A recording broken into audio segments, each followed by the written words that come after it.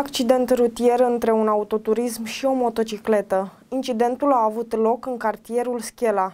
În urma evenimentului, motociclistul a fost rănit. La fața locului s-au deplasat pompierii și echipajul SMUR pentru acordarea de îngrijiri medicale motociclistului rănit.